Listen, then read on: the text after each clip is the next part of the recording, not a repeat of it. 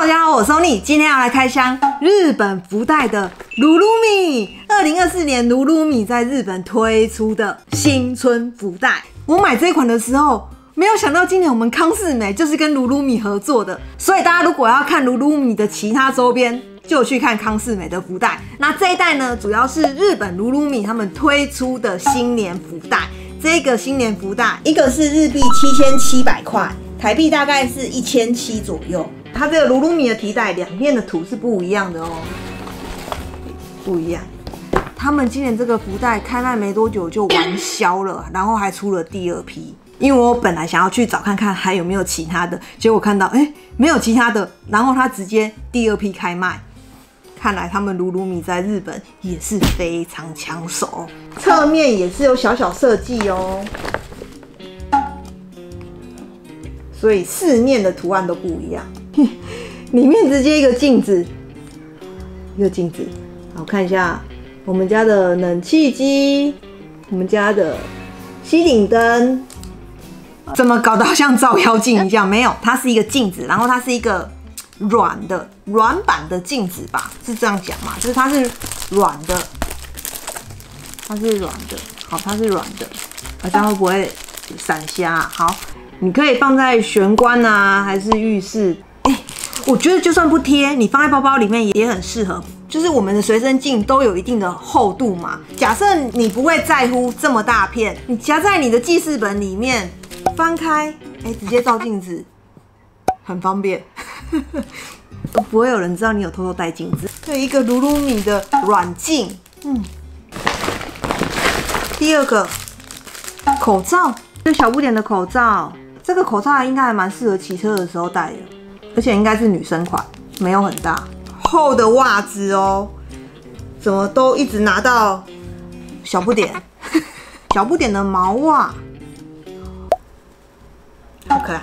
然后它它的图是在。脚板上面还有蝴蝶结哦，一个金属的盘子，个盘子，看你要放什么小东西啊？包便条纸，不是便条纸哎，它是小卡片，它里面是这样，有两种，右边这一个它是小卡，后面是条纹的，然后这个蓝色的它是信封，信封。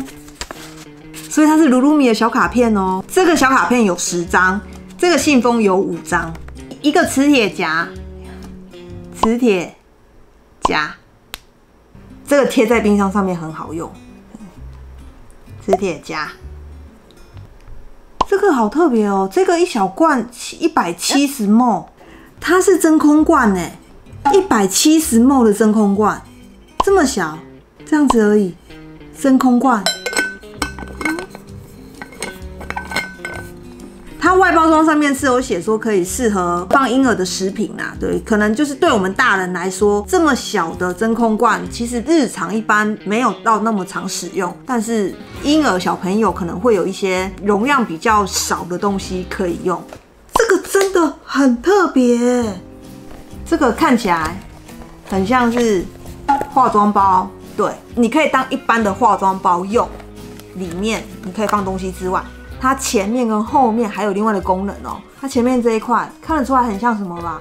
很像我们在放湿纸巾的盖子，它就是湿纸巾的盖子。那湿纸巾放哪里？湿纸巾放里面，这里放你的化妆用品嘛。前面这里还有一个密封袋的夹层，是让你放湿纸巾用的，或者是你想放卫生纸也可以啦。对，就是放在这边，然后这边。密封的地方把它合上之后，这里打开，你就可以从这里抽出来了。后面这个就是真的让你放卫生纸用的啦，所以你刚刚前面那里主要放湿纸巾，卫生纸你可以放这里。你放那个小包的随身携带的面纸，我觉得这个好棒哦，尤其是前面这里可以让你放湿纸巾。我把湿纸巾放进去了，你看这边沙威龙嘞，撕开，然后你就可以把湿纸巾抽出来了。另外一面，嗯，卫生纸放在里面，药就抽出来，这样子，所以你里面这边的夹层就可以放其他的东西，你可以当你的化妆包用，或者是女生嘛，你可能可以放卫生棉。这一包还不错，这个真的还不错。这个应该是马克杯哦，它不是马克杯，它写它是玻璃杯，它是玻璃杯。你看那个亮度，敲起来声音，这个是玻璃杯，但是它不是耐热玻璃，它这个不是耐热玻璃，应该不是很好用吧？它的颜色有点像祖母绿哦，我觉得这个是有爱有爱才会用的颜色。我这一包里面怎么拿到这么多小不点的东西？你看这一个玻璃杯是小不点。他送的一支圆珠笔，上面也是小不点。还有，这个是什么东西呀？这是一个很神奇的东西，因为我也没有看过。它是电池的储存容器，它这边是有跟你说使用方式，很多种电池，这个打开不一样。你看这样子，一层是这样。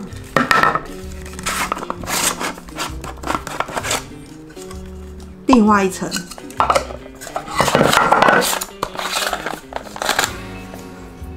这样还有一层，就跟那个奶粉的罐子一样，有很多层。然后它每一层看起来都真的很明显是放不同电池的那个规格。电池储存器它是充电吗？所以我只能放充电的电池。这个电池储存盒应该是早年的时候在用的吧？现在还会有人用这个吗？只好放到福袋里面送出去吧。啊，怎么办？日本鲁鲁米的这个福袋我不行哎。这些就是我鲁鲁米福袋里面的商品，然后它还有这个袋子，对，它就很简单的提袋，只是它的颜色做的很缤纷。对，这个是日本鲁鲁米他们推出的新年福袋，都是鲁鲁米他们的周边商品，也就是他们日常一般也在贩售的。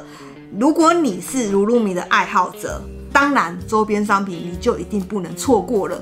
如果你是想要实用性的，那你就看一下康士美今年跟鲁鲁米合作的福袋。今天影片到这里，如果喜欢我的影片，欢迎帮我按赞、留言、分享，还有订阅我的频道。那我们就下次见喽，拜拜。